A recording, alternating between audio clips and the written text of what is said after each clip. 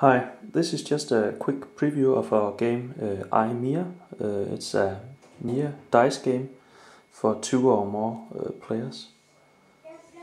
It's uh, it's a very fun and simple game. Uh, you can play if you're at a party or uh, just with some friends. It's uh, very simple. You press here and hold, shake it to get a dice in, and then you lift the cup to see what you roll.